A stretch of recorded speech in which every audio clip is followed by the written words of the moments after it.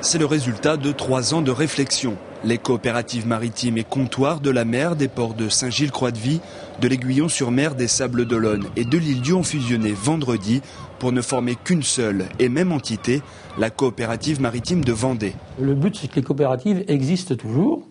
Par contre, il y aura un siège social, hein, une partie se trouvera euh, au sable, parce que c'est la coopérative de Saint-Gilles-Croix-de-Vie qui a absorbé, parce qu'une fusion, c'est une absorption, hein, qui a absorbé les, les, coopératives, les autres coopératives, l'Aiguillon, l'île-Dieu et les Sables.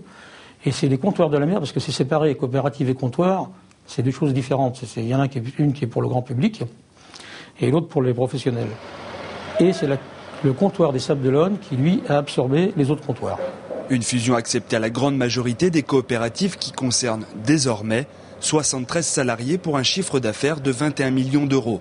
Une fusion devenue nécessaire entre coopératives, notamment depuis la diminution importante de la flotte dans les ports vendéens.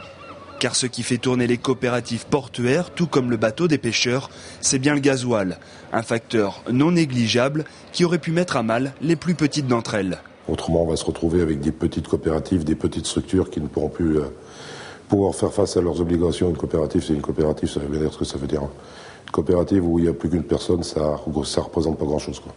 C'était la COP de Saint-Gilles qui achetait le gasoil pour, le, pour les sables et, Saint-Gilles. Par contre, elle ne le faisait pas pour l'aiguillon. Et l'aiguillon, il y avait des gros écarts de prix. Maintenant qu'on est fusionné, le camion qui vient de La Rochelle passe par l'aiguillon, délivre de l'essence à l'aiguillon, du gasoil, et ils sont au même tarif que nous. Avec le développement de la Seine danoise, les quantités de gasoil dépensées sont moindres.